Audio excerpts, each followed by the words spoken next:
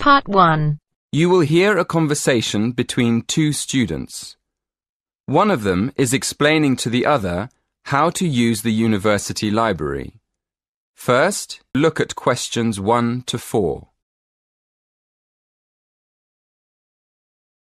Excuse me, Lily. Could you help me? You know, we've got an essay to write about eating customs across the world. Yeah, we have to borrow some books, don't we? Yes, but I missed the library training.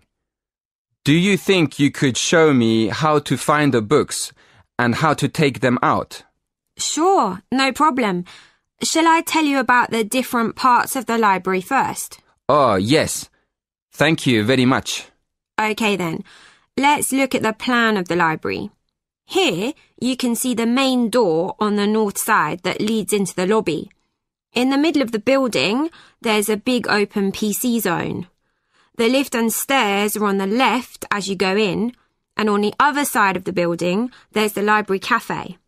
That part of the library is pretty sociable. It's a good place to study with friends. I really prefer to study alone. Is there anywhere in the library I can go? Oh, if you like studying in a quiet place, it's better to go upstairs to the silent zone. As you come out of the lift or up the stairs, you'll see a section on your right facing north which is closed off. That's the silent zone. On the other side, facing south, are the bookshelves with all the cookbooks and Before you hear the next part of the conversation, look at questions 5 to 10.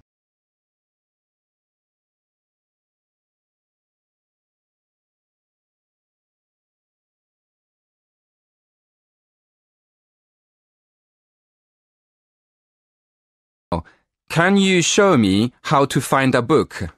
Well, the library's very big, and the books on food could be under cookery, or they could be in history, or even entertainment. So the first thing to do is to look it up in the online catalogue. Where do I do that? It's easy. There are lots of computers in the library for that. Okay, I see. Right, you look up the title first. When you found the book, you'll see it has a class mark next to it. The class mark is one or two letters and a number. Make a note of the class mark. Then look it up on the plan of the library. The plan shows you exactly what section of the library the books are actually kept in. Thank you very much, Lily. So how do I borrow a book? That's simple too. When you go to the library, you'll have to take your student ID card. When you want to borrow a book, you take it downstairs to the scanner. Then scan your ID card first. Next, open the book and slide it under the scanner until it makes a sound, a short beep. And that's all you have to do. Oh, sorry, I forgot. At the end, the system prints out a ticket. It's a good idea to keep it for a while, just in case you have a problem with your loan. Thanks again, Lily. You've been really kind. That is the end of Part 1. You now have half a minute to check your answers. Now turns to Part 2. Part 2. You will hear two engineering students, a woman in her sixth year called Linda and a man in his fifth year called Matthew, discussing the benefits of student work placements. First, you have some time to look at questions 11 to 16.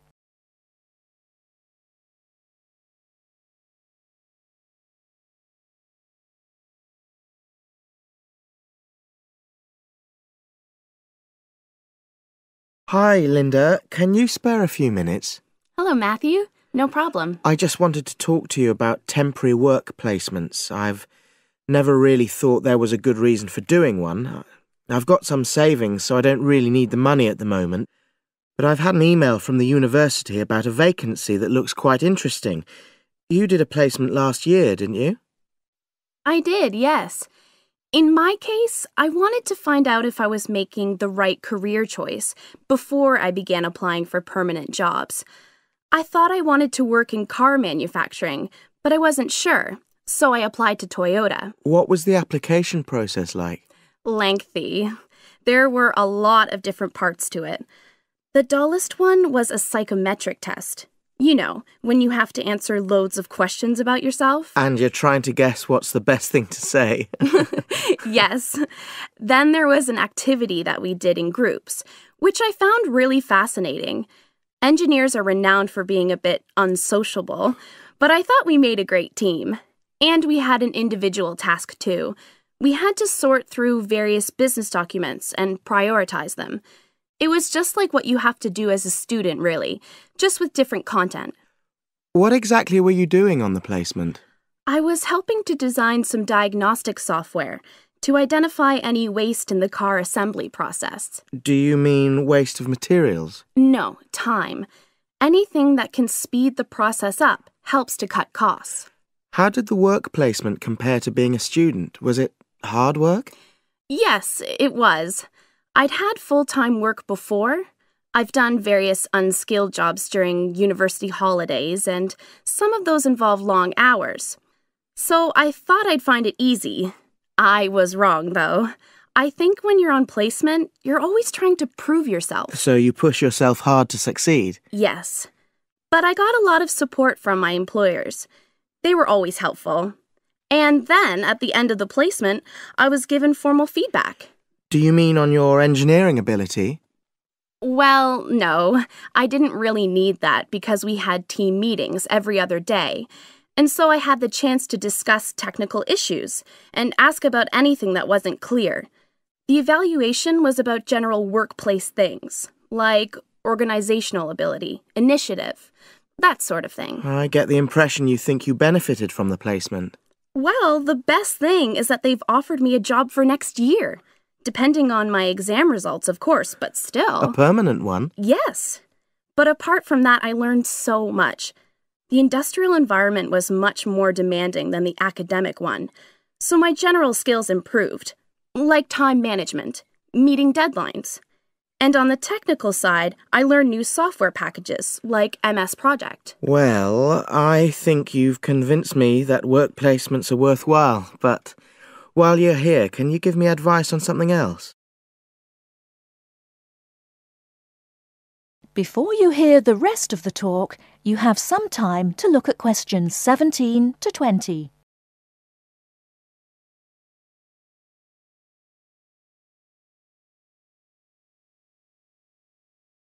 I'm about to make a start on the engineering materials module, and I've got a book list here. Can you have a quick look and tell me what you would recommend? That's if you can remember. Let's see. I do remember some of them. Hmm.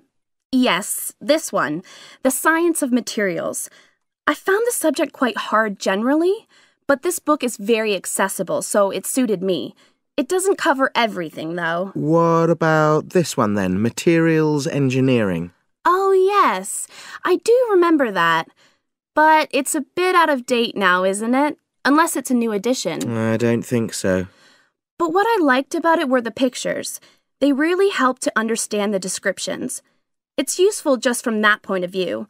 Let's see, hmm, what else? Oh, yes, that one there Engineering Basics. I think out of all these, that's got the widest coverage. But I've looked at the contents page and it hardly mentions nanotechnology. Yes, you're right. The evolution of materials does, though. It's a recent publication, so it covers all the latest developments. It's a bit thin on the 1960s, though, and that decade was quite important. Well, it sounds as if they all complement each other in some ways. I don't suppose you can lend me. That is the end of part two. You now have half a minute to check your answers. Now turns to part three. Part 3. You will hear a conversation between Wolfgang and his new friend Mary, who has already been at the college for a few months. In the first part of the conversation, they're talking about a social activity program at college. First, you have some time to look at questions 21 to 26.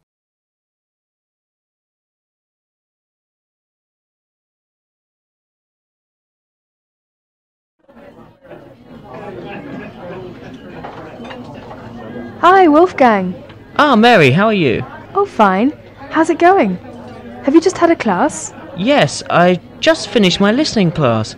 It was uh, a little bit difficult. Yeah, yeah.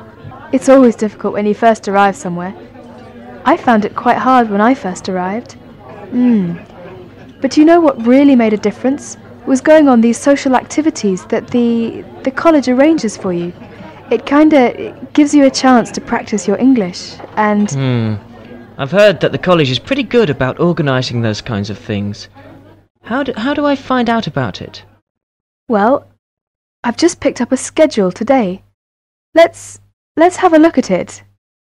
Here it is. What is it? A schedule for for this week or? Yeah, yeah, let's have a look. Okay, yeah. Maybe we can do some things together, in fact. Yeah, that would be great. So, Let's see. What are they doing tonight? Monday night? well, they've so oh, they've got singing with guitar. So I went to this last week. It's Oh, really? yes, it's quite good fun. Is it pretty good? Yeah, yeah. What do they do? Do they have a concert or? It's they teach you um modern and traditional songs. Hmm, well, I'm not much of a singer, but, uh, Oh, come on. You should go. It's really good fun. well, I suppose it'd be a good way to practice my English. Yeah, 'cause you learn kind of British folk songs and things. It's yeah, it's really interesting. Oh, but look at that. That starts at 8. But I notice at 9 o'clock there's a, a, a late night coach to Cambridge for a film.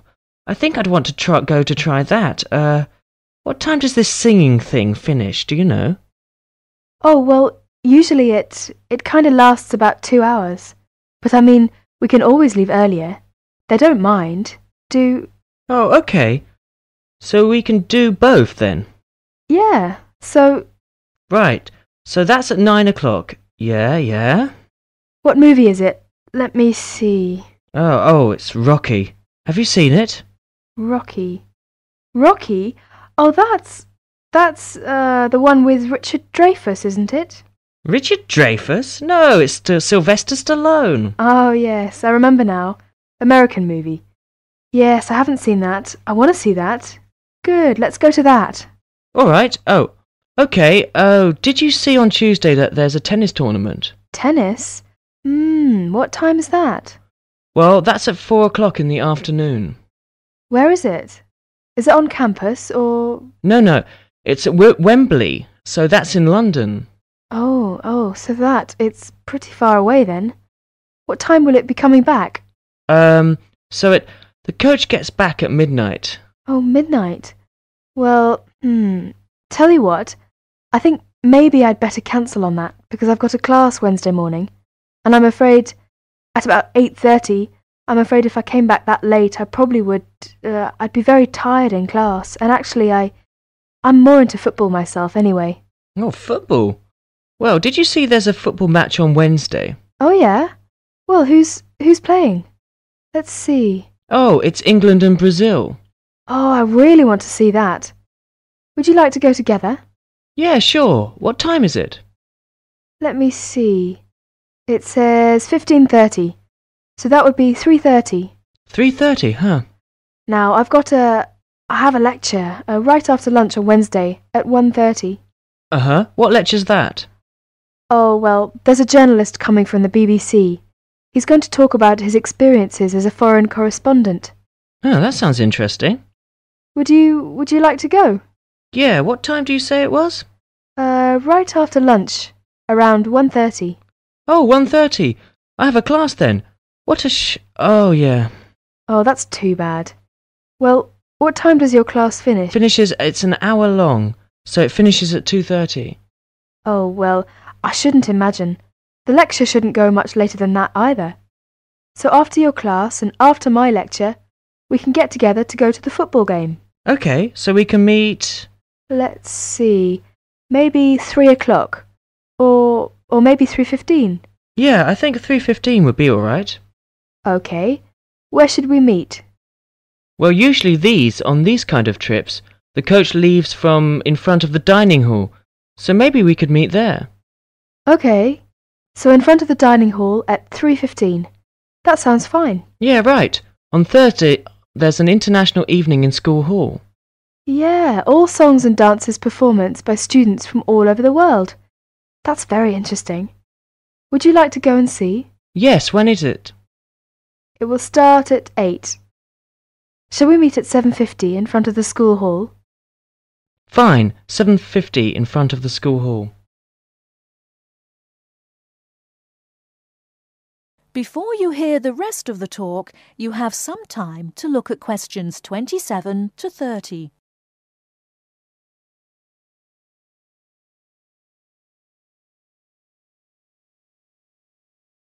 Oh, and another thing I definitely want to do this weekend uh, is to go and see. Uh, they're going to have a trip to Stratford on Avon. I think it's on. Let me see. What day is that? Friday, I think my roommate told me. Oh, Friday. Would you like to go to that? Yeah, but are you sure it's Friday? I thought that's what he said, but I might have been mistaken. Well, usually these things are on weekends. Right. Let's see here. Oh, you're right, yeah, Saturday morning, 8.30. Aha. Right, Friday's the disco. Oh, disco. Yeah. So actually, I've arranged to go with some of my friends. So if you'd like to come along with us. Oh, that would be very nice, yeah. Yeah, you can meet some more students.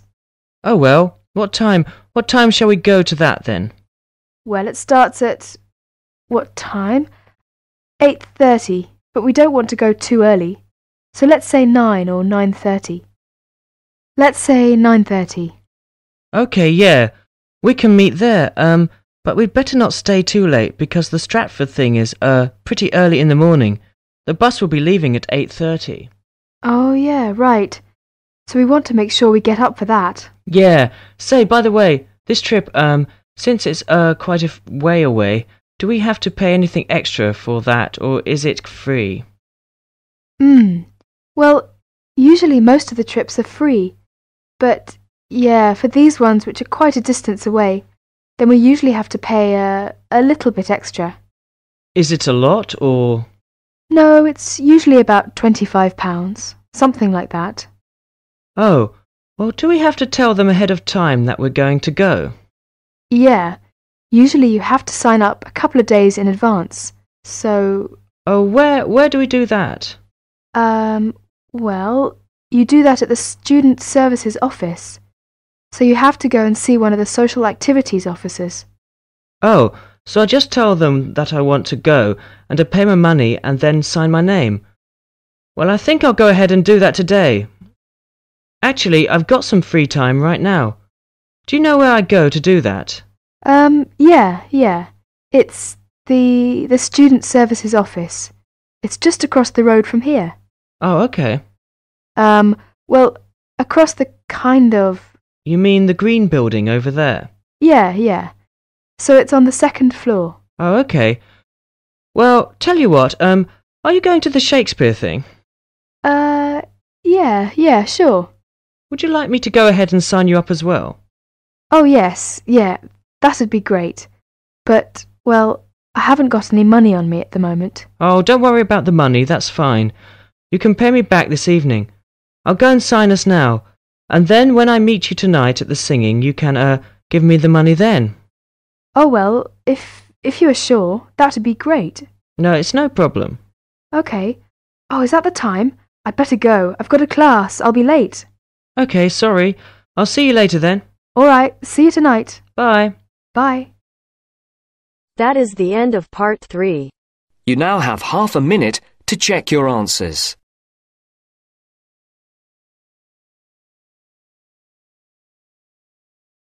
Now turns to part four. Part 4. You're going to listen to a talk about tea in the UK. First, you have some time to look at questions 31 to 40.